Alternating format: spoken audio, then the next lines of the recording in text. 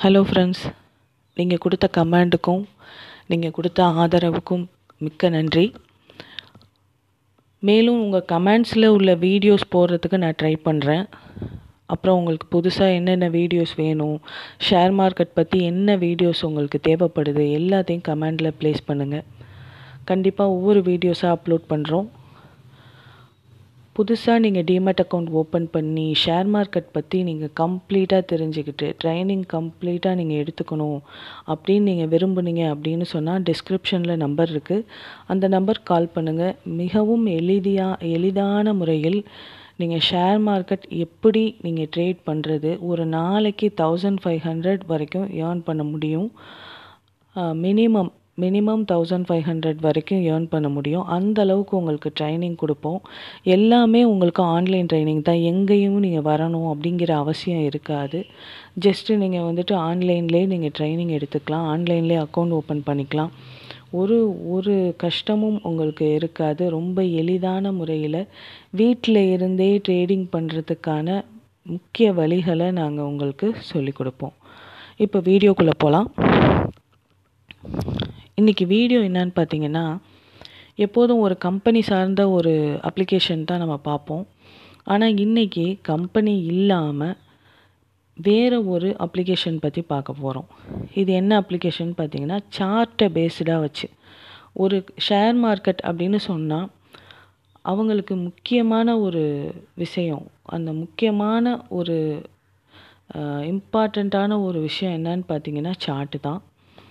அந்த சார்ட்டில் நிறைய வகையான நமக்கு வந்து அப்ளிகேஷன் கிடைக்குது சார்ட் அப்ளிகேஷனில் அது கம்பெனி ஓரியன்ட் இப்போ குட்வில்லாக இருக்கட்டும் குட்வில்லே வந்துட்டு அது அந்த அப்ளிகேஷனுக்குள்ளேயே சார்ட் இருக்கும். அண்டு என்ரிச்சாக இருக்கட்டும் என்ரிச்குள்ளேயும் அதே சா சார்ட் அப்ளிகேஷன் இருக்கும். அந்த அப்ளிகேஷனுக்குள்ளேயே சார்ட் இருக்கும். ஆனால் அது இல்லாமல் ரொம்ப அக்யூரேட்டாக வெளியில் இருக்கிற அப்ளிகேஷனில் உள்ள சார்ட்டை பற்றி தான் அந்த அப்ளிகேஷனை பற்றி தான் நம்ம இப்போ பார்க்க போகிறோம் அது என்ன அப்ளிகேஷன் ரொம்ப பாப்புலராக எல்லாருக்கும் தெரிஞ்ச அப்ளிகேஷன் தான் மார்க்கெட் பல்ஸ்ன்னு சொல்லிட்டு. அதை எப்படி டவுன்லோட் பண்ணணும் அப்படின்னு பார்த்தீங்கன்னா ப்ளே ஸ்டோருக்கு போயிடுங்க. ப்ளே ஸ்டோரில் மார்க்கெட் பல்ஸ் அப்படின்னு டைப் பண்ணுங்கள் டைப் பண்ணிட்டீங்க அப்படின்னு சொன்னால் இது போல் உங்களுக்கு வரும். இந்த இந்த சிம்பிள் இருக்காங்கிறத நீங்கள் செக் பண்ணிக்கோங்க. இந்த சிம்பிள் இருக்கணும். இந்த சிம்பிள் இருந்தால் மட்டும்தான் அது மார்க்கெட் பல்ஸ் ஓகேவா இப்போ இன்ஸ்டால் கொடுத்துட்றேன் இன்ஸ்டால் பண்ணிக்குவோம். ஓகே இப்போ இன்ஸ்டால் ஆகிடுச்சு ஓப்பன் கொடுத்துடலாம்.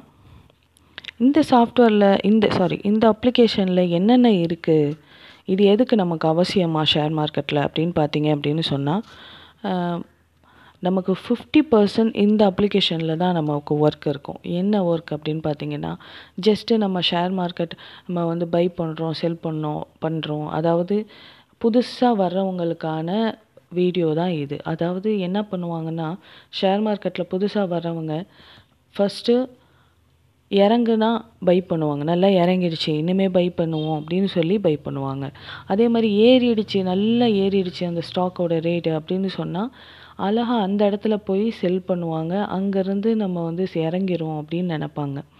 ஆனால் அது இல்லை ஷேர் மார்க்கெட் அந்த மாதிரி பண்ணி தான் நிறைய டைம் லாஸ் ஆவாங்க கிளைண்ட்டு ஏன்னா சில டைம் என்ன ஆகும்னா அது ஒர்க் அவுட் ஆகிடும் ஆனால் சில டைம் என்ன ஆகும்னா சில டைம்னு இல்லை மோஸ்ட் ஆஃப் த டைம் அது ஆப்போசிட்டாக தான் முடியும். ஒரு சில டைம் நமக்கு பாசிட்டிவாக முடியும்.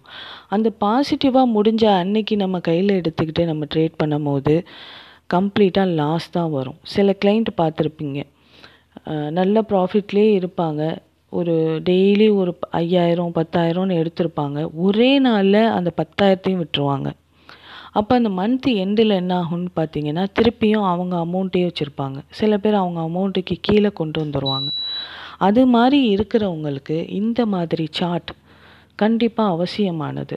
அந்த சார்ட்டில் நிறைய வகையான இண்டிகேட்டர்ஸ் நிறைய ஒரு விஷயங்கள் இருக்குது அது எல்லாத்தையுமே நம்ம பார்த்தோம் அப்படின்னு சொன்னால் நிறைய குழப்பங்கள் ஏற்படும். அதனால தான் நாங்கள் என்ன செய்கிறோன்னா சும்மா சிம்பிளாக என்ன உங்களுக்கு தேவையோ ஒரு பிகினருக்கு என்ன தேவையோ அதை மட்டும் இப்போ நாங்கள் சொல்லுவோம். பிகினர் நல்லா கற்றுக்கிட்டதுக்கப்புறம் ஓரளவு நல்லா ஏர்ன் பண்ணதுக்கப்புறம் இந்த சார்ட் பற்றி உங்களுக்கு விரிவாக நாங்கள் சொல்லுவோம். இப்போ நம்ம அந்த வீடியோக்குள்ளே போகலாம் நீங்கள் அந்த மார்க்கெட் பல்ஸ் ஏற்றியாச்சு கெட் ஸ்டார்ட் கொடுத்துருங்க. ஃபஸ்ட் டைம் உங்களுக்கு இப்படி தான் வரும் ஓகேவா நெக்ஸ்ட்டு கொடுத்துருங்க. இது எப்படின்னா உங்களோட மொபைல் அப்ளிகேஷன் எப்படி இருக்கும் அப்படிங்கிற எல்லாத்தையுமே இதில் நமக்கு காட்டும். தெரிஞ்சுக்கோங்க ஒன்று ஒன்றா இப்போது நீங்கள் நம்பர் எந்த நம்பர் கொடுக்கணுமோ அந்த நம்பரில் நீங்கள் ரிஜிஸ்டர் பண்ணிக்கோங்க.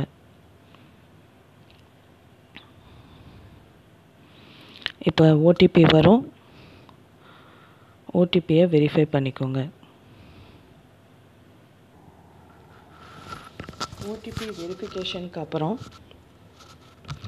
இது மாதிரி உங்களுக்கு இன்ஸ்டால் ஆகிடும் ஃபர்ஸ்ட் டைம் இன்ஸ்டால் பண்ணுறவங்களுக்கு இப்படி உங்களுக்கு ஸ்க்ரீனில் வராது.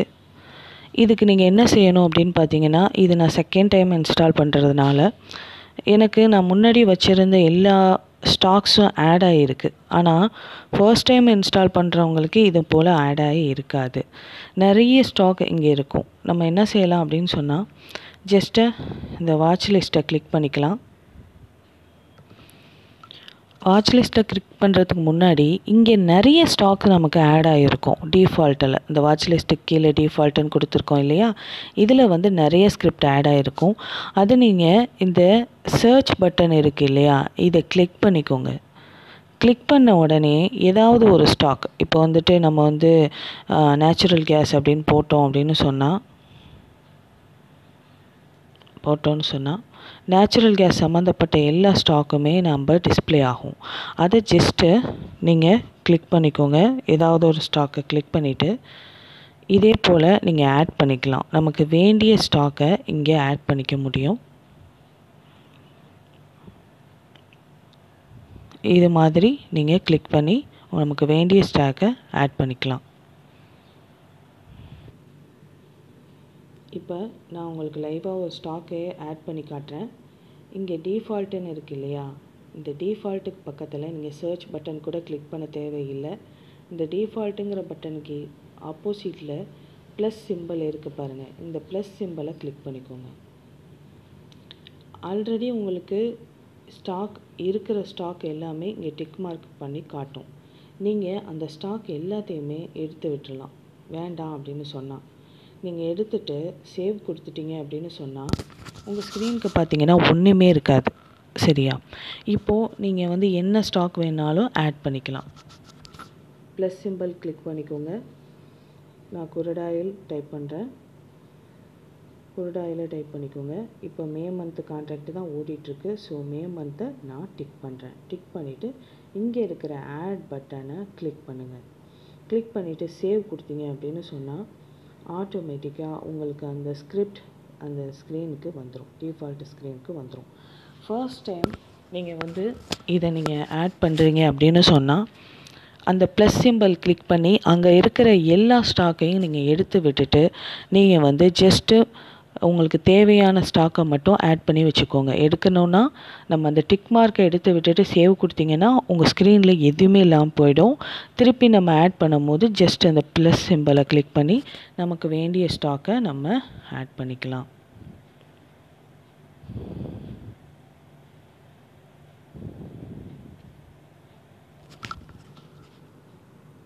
இது போல் நம்ம ஆட் பண்ணிக்கலாம். சேவ் கொடுத்தோம் அப்படின்னு சொன்னால் நம்மளோட ஸ்டாக் எல்லாமே இங்கே ஆட் ஆயிரும். ஓகேவா இது மாதிரி தான் இந்த மார்க்கெட் ப்ரைஸில் நம்ம ஸ்டாக்கை ஆட் பண்ணணும். சரி இதை ஆட் பண்ணியாச்சு. இதனால நமக்கு என்ன யூஸ் அப்படின்னு பார்த்தீங்கன்னா இந்த மார்க்கெட் பல்ஸ் நீங்கள் ஓப்பன் பண்ணி பார்க்கும்போது ஓப்பன் பண்ணி பார்க்கும்போது உங்களுக்கு உள்ளுக்குள்ளே லைன் சார்ட் அப்படிங்கிற சார்ட் இருக்காது. கேண்டில் சார்ட் மட்டும்தான் இருக்கும்.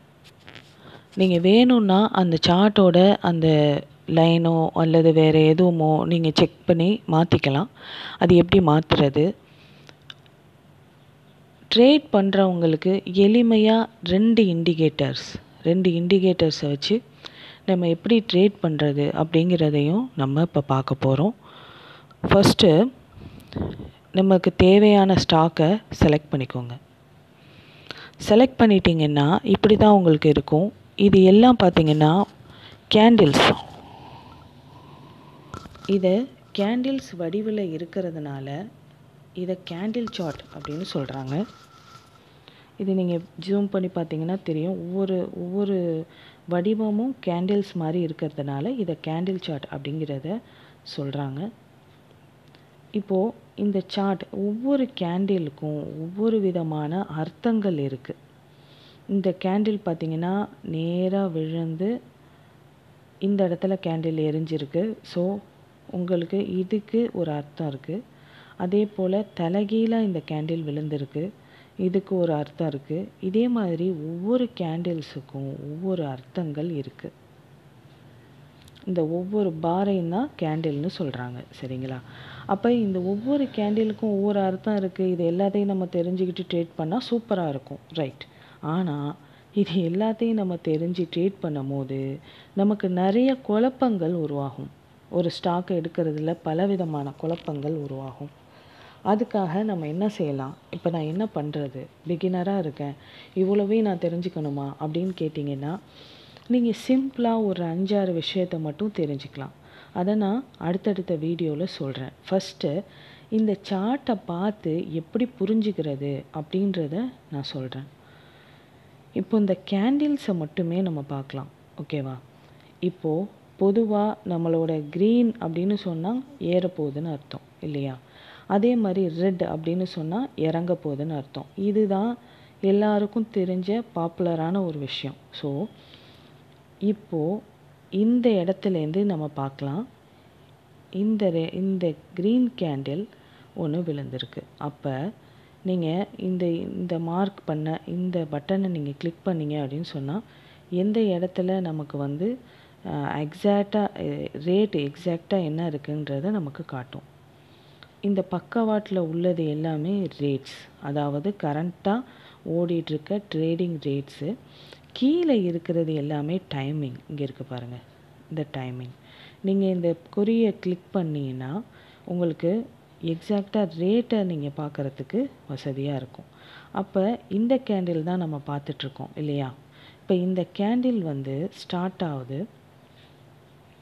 எங்கே ஸ்டார்ட் ஆகுது? தௌசண்ட் ஃபோர் நைன்ட்டி ஃபோரில் ஸ்டார்ட் ஆகிருக்கு ஸோ இப்போ க்ரீன் கேண்டில் ஸ்டார்ட் ஆகும் போது நம்ம பை பண்ணோம் அப்படின்னு சொன்னால் இந்த க்ரீன் கேண்டில் ஒரு டைம் இன்டர்வலில் ட்ராவல் ஆகும். அதாவது இங்கே பார்த்தீங்கன்னா உங்களுக்கு டைமிங் எல்லாமே இருக்கும். இந்த டைமிங்கை நம்ம செட் பண்ணிக்கணும். எப்போதுமே ஒரு இன்ட்ராடே ட்ரேடர் ஃபிஃப்டீன் மினிட்டை தான் சூஸ் பண்ணிக்கணும். Fifteen minute and thirteen minute இந்த ரெண்டு மினிட்டை தான் நம்ம சூஸ் பண்ணிக்கணும். ஒவ்வொரு இப்போ நம்ம இந்த ஃபிஃப்டீன் மினிட்டை சூஸ் பண்ணதுக்கப்புறம் இந்த கேண்டில் ஃபிஃப்டீன் மினிட் வரைக்கும் ட்ராவல் ஆகும். சரியா? இப்போ ஃபிஃப்டீன் மினிட் வரைக்கும் இது அப்பில் போகுமா டவுனில் போகுமாங்கிற விஷயத்த நமக்கு இந்த கேண்டில் புரிய வச்சிரும். ஸோ இந்த கேண்டில் வந்து உருவாகி கொஞ்சம் கொஞ்சமாக மேலே ஏறி இப்படியே ஏறி எது வரைக்கும் வந்திருக்கு பாருங்கள் இந்த கேண்டிலோட பாயிண்ட் வைக்கிறேன். இது வரைக்கும் வந்திருக்கு. தௌசண்ட் ஃபைவ் டுவெண்ட்டி நைன் வரைக்கும் நமக்கு கேண்டில் ட்ராவல் ஆகிருக்கு அப்போ தௌசண்ட் ஃபோர் நைன்ட்டி ஃபோர்லேருந்து தௌசண்ட் ஃபைவ் டுவெண்ட்டி நைன் வரைக்கும் ட்ராவல் ஆகிருக்கு ஸோ இந்த கேண்டிலை நம்ம இந்த இடத்துல பை பண்ணியிருந்தோம் அப்படின்னு சொன்னால் நம்ம இந்த இடத்துல செல் பண்ணலாம். கிட்டத்தட்ட நமக்கு ஒரு முப்பது பாயிண்ட் கன்ஃபார்மாக கிடச்சிருக்கும். இப்படி தான் நம்ம பை பண்ணணும். நெக்ஸ்ட்டு கேண்டில் நமக்கு ரெட்டாக விழுந்திருக்கு. இங்கே ஓப்பன் ஆகிருக்கு இங்கே ஓப்பன் ஆகி தௌசண்ட் ஃபைவ் நைன்டீன்லேருந்து தௌசண்ட் ஃபோர் எயிட்டி எயிட்டுக்கு வரைக்கும் போயிருக்கு. கிட்டத்தட்ட ஐம்பது பாயிண்ட்டுக்கு மேலே நமக்கு கிடச்சிருக்கும். இந்த இடத்துல நம்ம செல் பண்ணியிருந்தோம் அப்படின்னு சொன்னால் ஓகேவா இது மாதிரி தான் நம்ம கேண்டில்ஸ் வச்சு பை செல் பண்ணணும். ஆனால் இப்படி நம்ம க்ரீன் கேண்டில் விழும்போது பை ரெட் கேண்டில் விழும்போது செல்லு பண்ணலாமா அப்படின்னு கேட்டிங்கன்னா அதுக்கு பதில் கிடையாது. நோ அப்படி நம்ம பண்ணக்கூடாது. அப்படி பண்ணக்கூடாதுன்னா ஏன் இதை நீங்கள் சொல்கிறீங்க அப்படின்னு கேட்டிங்க அப்படின்னு சொன்னால் இந்த கேண்டிலோட போக்கு எப்படி இருக்கும் அப்படிங்கிறத உங்களுக்கு காட்டுறதுக்காக தான் நான் சொல்கிறேன் ஏதாவது ரெட்டு விழுந்தா என்ன அர்த்தம் க்ரீன் விழுந்தா என்ன அர்த்தங்கிறதுக்காக உங்களுக்கு நான் இதை எக்ஸ்பிளைன் பண்ணேன். சரி அதுவே இந்த கேண்டிலில் பார்ப்போமே. கடைசி கேண்டில் இப்போது இந்த இடத்துல தான் நமக்கு ஓப்பன் ஆகிருக்கு இந்த இடத்துல நமக்கு ஓப்பன் ஆகிருக்கு இந்த கேண்டில் கீழே இது வரைக்கும் வந்திருக்கு. அப்போ நம்ம இந்த கேண்டில் இது வரைக்கும் வந்தப்போ ரெட் கேண்டிலாக தான் இருந்திருக்கும். அப்போ நம்ம என்ன நினச்சிருப்போம்? நம்ம பை ப செல் பண்ண தான் நினச்சிருப்போம். இந்த இடத்துல செல்லும் பண்ணியிருப்போம் தௌசண்ட் ஃபைவ் சிக்ஸ்டீனில் செல் பண்ணியிருப்போம் அப்போ இது வரைக்கும் வந்துட்டு ஒரு பா ஆறு பாயிண்ட்டு தான் இறங்கியிருக்கு. இறங்கிட்டு சர்ன்னு மேலே போயிருக்கு. மேலே போய் இது வரைக்கும் நமக்கு மேலே போயிருக்கு. அப்போ என்ன நடக்கும்? நம்ம செல் பண்ணியிருப்போம். ஆனால் இந்த ரேட்டுக்கு மேலே போய் நமக்கு ஸ்டாப் லாஸ் அடிச்சிருக்கோம். ஸோ அதனால் நம்ம வந்து கேண்டில்ஸோட போக்கை வச்சு மட்டுமே ட்ரேட் பண்ணக்கூடாது. ஆனால் கேண்டில்ஸை வந்து இது மாதிரி தான் நம்ம பார்த்துக்கணும். இப்போ கேண்டில்ஸ் ரெட் கேண்டில் விழுந்தால் செல்லு க்ரீன் கேண்டில் விழுந்தால் பை இதில் எந்த மாற்றமும் இல்லை. இப்போது இந்த கேண்டிலை பார்க்கலாம். இங்கே இருக்கிற கேண்டிலை பார்க்கலாம். இப்போ இந்த கேண்டில் விழுந்திருக்கு. இதுக்கு பக்கத்தில் ஆப்போசிட் அடுத்த ஃபிஃப்டீன் மினிட்ல இந்த கேண்டில் விழுந்து மேலே இப்படி எழும்பும் போது நமக்கு கன்ஃபார்ம் பையாக இருக்கும். அதாவது ஒரு க்ரீன் கேண்டிலுக்கு மேலே இன்னொரு க்ரீன் கேண்டில் விழும்போது நம்ம தாராளமாக நம்ம வந்து பை பண்ணலாம். அது எப்படி பண்ணலாம் அப்படின்னு சொன்னால் நான் ஏற்கனவே சொன்னேன் க்ரீன் கேண்டில் விழுந்தா பையி ரெட் கேண்டில் விழுந்தால் செல்லு ஸோ இப்போது க்ரீன் கேண்டில் விழுந்துருச்சு. அதுக்கு பக்கத்தில் இன்னொரு க்ரீன் கேண்டில் விழுது. அதாவது இந்த கேண்டில் விழும்போது ரெட்டாக தான் விழுந்திருக்கும்.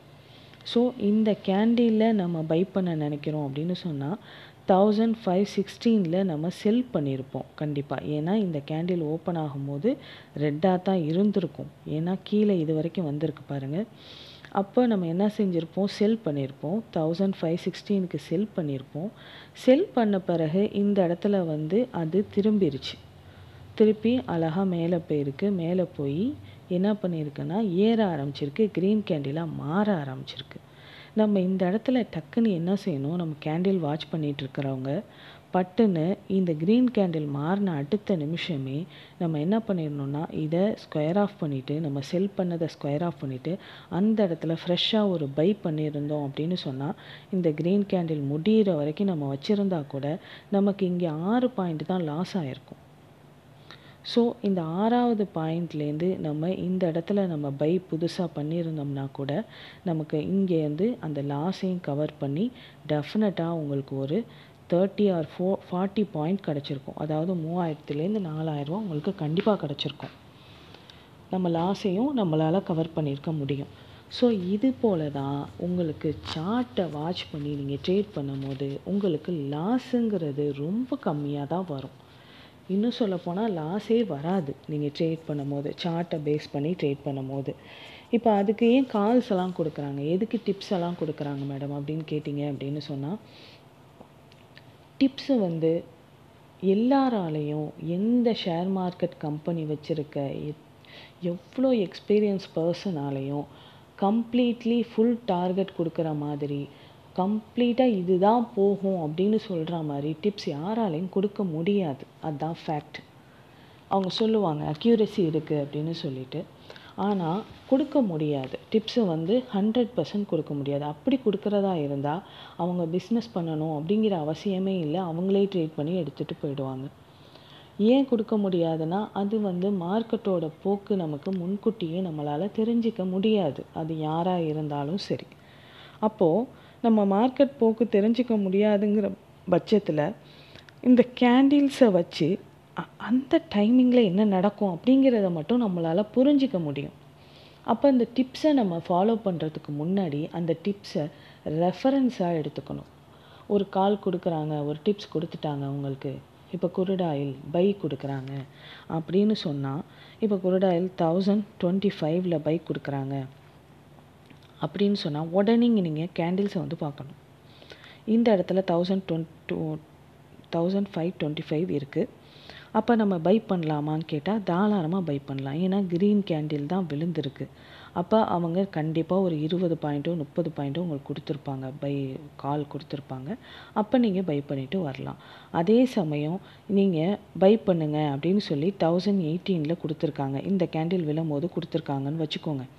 பை பண்ணுங்கன்னு கொடுக்கும்போது நம்ம இந்த கேண்டிலை போய் பார்த்தா ரெட்டில் மாறி இருக்கும். ஸோ அப்போ நம்ம வெயிட் பண்ணணும். அதை ரெஃபரன்ஸாக தான் வச்சுக்கணும். அப்போ வெயிட் பண்ணி என்னடா ரெட் கேண்டில் விழுந்திருக்கேன் நம்ம வெயிட் பண்ணலாம் அப்படின்னு சொல்லி வெயிட் பண்ணணும். அப்போ அந்த ரேட்டு எப்போ நமக்கு க்ரீன் கேண்டில் விழும்போது விழுதோ அப்போ நம்ம பை பண்ணிக்கலாம். அப்போ நம்ம பை பண்ணும்போது ஹண்ட்ரட் பர்சன்ட் நமக்கு ஹிட் ஆகும். செகண்ட் என்னென்னா உங்களுக்கு எந்த விதமான டிஸ்டர்பன்ஸோ உங்களுக்கு ஸ்டாப் லாஸ் அடிச்சிருன்ற அந்த பயமோ எதுவுமே இருக்காது. அப்படியே ஸ்டாப் லாஸ் அடித்தா கூட திருப்பி அந்த கேண்டிலை வச்சு அப்படியே நம்ம கவர் பண்ணி ரிட்டன் போடுறதுக்கான எல்லா ஃபெசிலிட்டியும் நம்ம இந்த சார்ட்டில் பார்த்துக்கலாம்.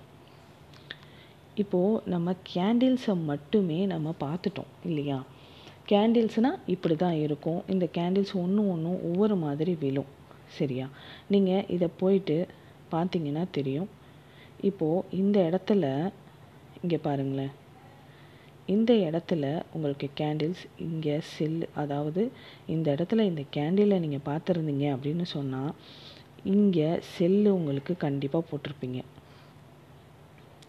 இந்த கேண்டில் ஃபிஃப்டீன் மினிட்டுக்கு ஓடி இருக்கும். அடுத்த கேண்டில் ஓப்பன் ஆகும்போது இந்த இடத்துல ரெட் கேண்டில் ஓப்பன் ஆகும். நீங்கள் இந்த கேண்டிலை ஃபுல்லாக வாட்ச் பண்ணிட்டு இருந்தீங்கன்னா அப்படியே நீங்கள் வாட்ச் பண்ணிட்டு இருந்திருப்பீங்க. நீங்கள் எந்த விதமான செல்லும் போட்டிருக்க மாட்டீங்க. பேசாமல் வாட்ச் பண்ணிட்டு இருந்திருப்பீங்க. அடுத்த கேண்டில் எங்கே விழுந்திருக்குன்னா இந்த இடத்துல விழுந்திருக்கு. விழுந்து நல்லா ஏறி திருப்பியும் இறங்கியிருக்கு. திருப்பி இந்த இடத்துலையும் ரெட் கேண்டில் தான் ஓப்பன் ஆயிருக்கு.